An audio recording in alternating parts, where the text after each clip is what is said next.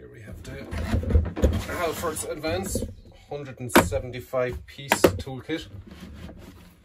I got this approximately two years ago. Great set. Great set. I've used it on literally everything. So I have everything nice and neatly organized. Give you breaker bars, ratchets, quarter inch, half inch, quarter inch, three eighths.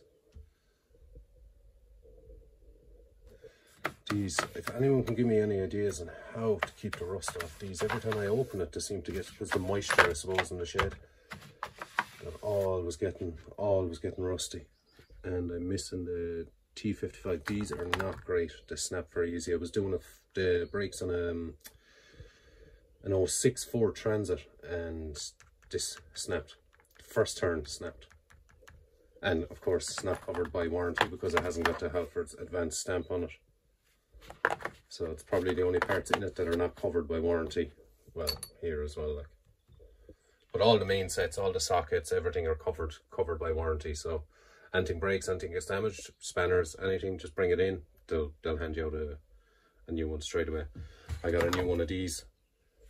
New one of these already. Uh, it snapped the ring, the ring or something snapped here in this. wasn't wasn't clicking right, or wasn't wasn't working reverse or forward and I just brought it in, handed it into the, the guy behind the till and straight away just handed me out a new one, no issues whatsoever. Great little portable set, so it is. Complements my um my mechanics box that I bought this year. This year, it's not the Halfords Advance, but it is Halfords, but works perfect, I love it. I love it, drawers are nice and tight on it.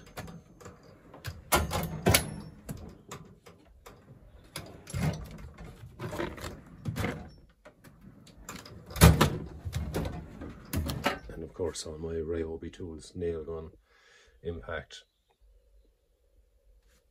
chargers. For home mechanics, they're brilliant. Home use, home DIY. I love the Ryobi brands, they're very good.